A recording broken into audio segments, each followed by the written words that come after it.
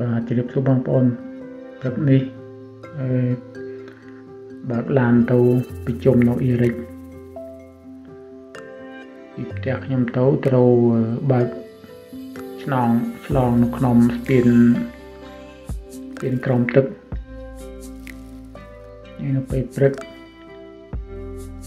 បែកនៅនឹងងឹតឡាយម៉ោង6ព្រឹកឡានចាប់ដើម ពេញហ្នឹងមក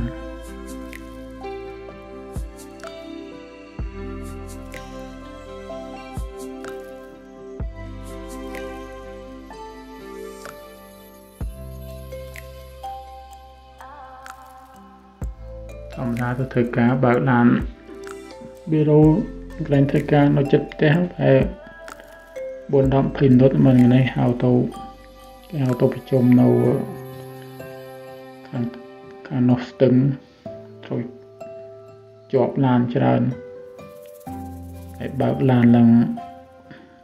1ម៉ោងកន្លះមិនទៅដល់ទឹកនេះហៅទៅប្រជុំ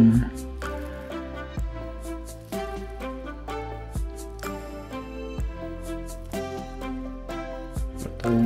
ចេញពីព្រលឹមនេះខ្ញុំសូវអត់សូវមានឡានព្រោះតែ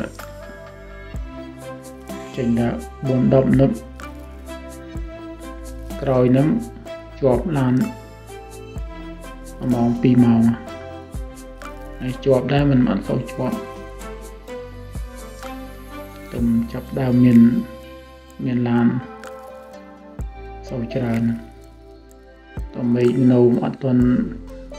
មានអលង្កិត។